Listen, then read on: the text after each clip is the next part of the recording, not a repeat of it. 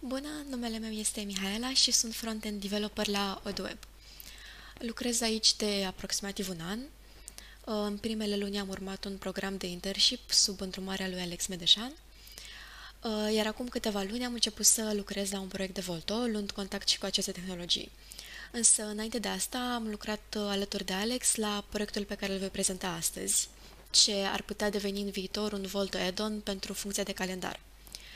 Uh, acesta urmează să fie lansat și în varianta de NPM, dar momentan este un repo la care încă lucrăm. Acest proiect este un calendar ce poate fi integrat în diverse aplicații, aducând uh, funcționalități precum crearea de evenimente normale sau uh, evenimente recursive, editarea și mutarea lor.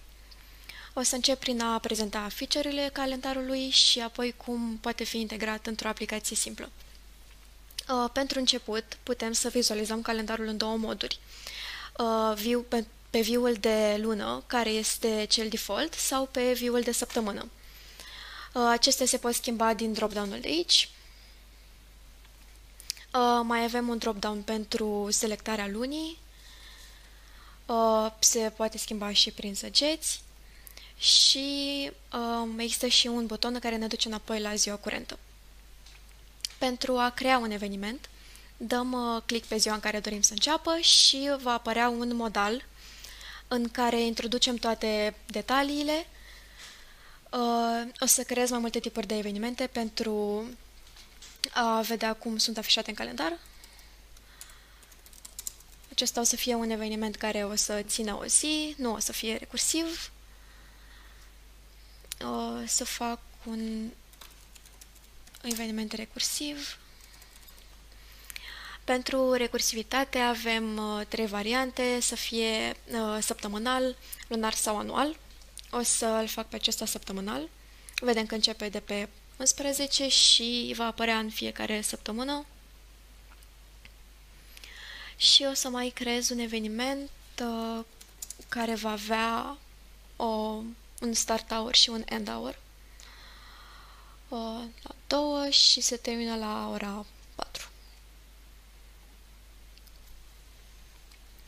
Uh, pentru a modifica evenimentele, putem să dăm click pe el, se va deschide un modal din nou, dar acest modal o să aibă precompletate anumite fielduri cu detaliile evenimentului și putem de aici să schimbăm uh, titlul și orice altceva putem să-l facem de pe 13 până pe 12. Și vedem că s-a schimbat titlul, evenimentul s-a lungit pe săptămâna următoare uh, și ne apar și săgețile care ne indică că acest eveniment se continuă pe săptămâna următoare. Uh, pentru fiecare celulă putem avea maxim 3 evenimente. Dacă avem mai mult de 3 evenimente, va apărea un buton de simor. Adică, dacă mai punem aici încă două,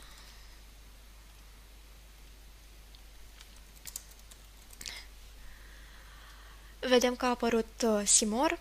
Dacă dăm click aici, va apărea un nou pop-up în care putem să vedem toate evenimentele din ziua respectivă și din nou cu săgeata putem să vedem dacă evenimentul se continuă pe ziua următoare sau dacă uh, a început în altă zi, nu în ziua curentă. Uh, dacă trecem acum și pe viul de săptămână, uh, putem să vedem că aici evenimentele sunt împărțite în două categorii, să spun așa. Avem evenimentele care țin o zi întreagă și ele sunt afișate pe primul rând aici. Și evenimentele care au un, uh, o oră de început și o oră de sfârșit. Și uh, ele sunt puse în chenarul orei corespunzătoare, cum avem evenimentul creat mai devreme, care începe de la 2 la 4. Uh, la fel putem crea și aici evenimente, de exemplu dacă vrem să creăm pe 11 un eveniment la ora 5. Să zicem că ține o oră și ne apare aici. Uh, putem să le modificăm și putem să modificăm și ora. de la 9 la 11 și se duce jos sau uh, putem să le mutăm tot cu drag and drop. Uh, acestea sunt uh, feature-urile implementate până acum în calendar. Uh, mai departe o să arăt cum am integrat uh, eu acest calendar într-o aplicație.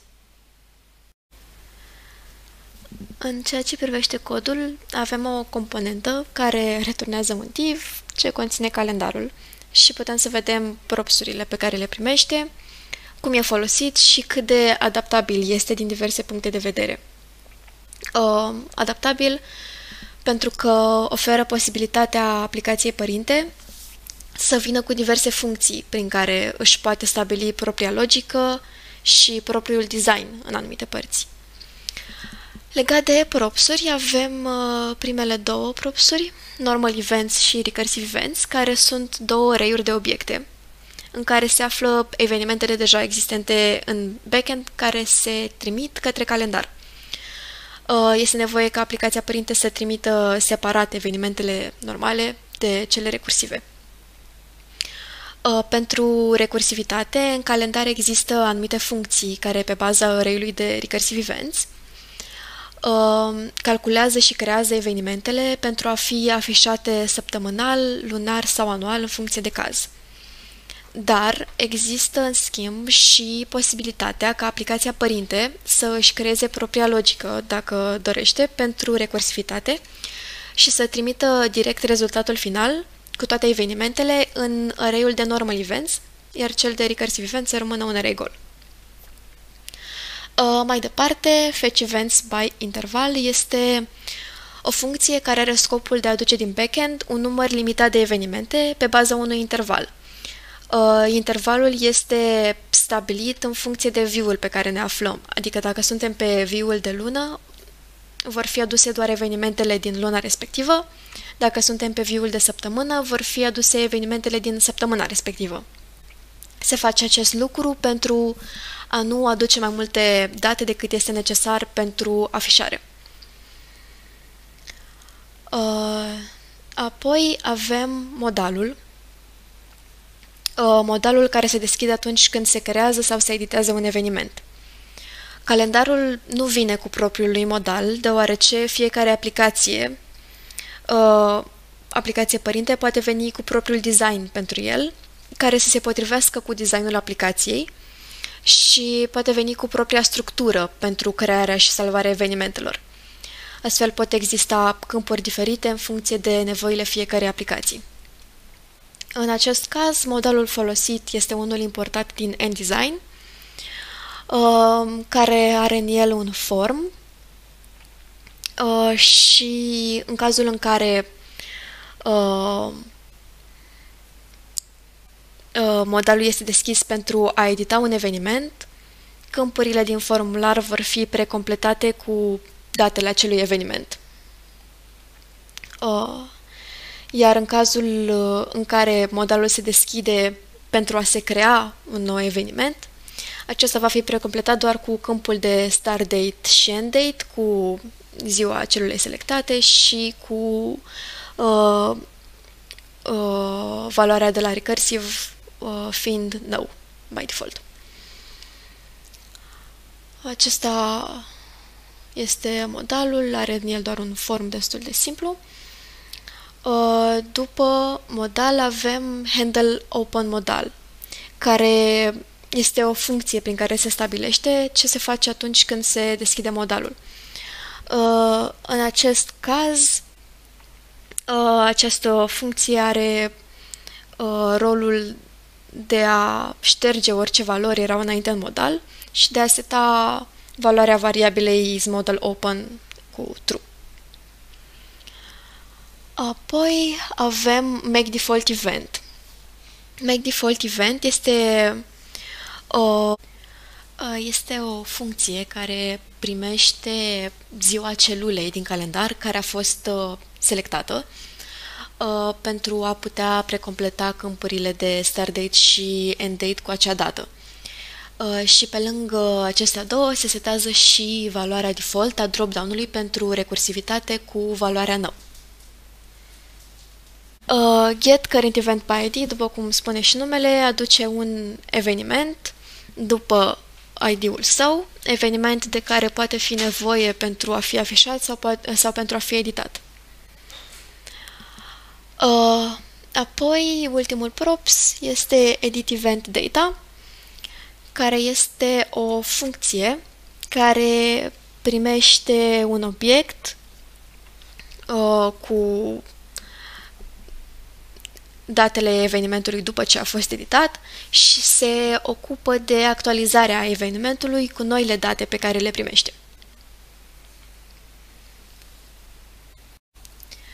Și momentan acestea sunt toate funcțiile necesare aplicației pentru a putea fi implementată în orice proiect și pentru a funcționa corespunzător. Uh, ceea ce înseamnă că am ajuns la finalul acestei prezentări, așa că mulțumesc mult pentru atenție.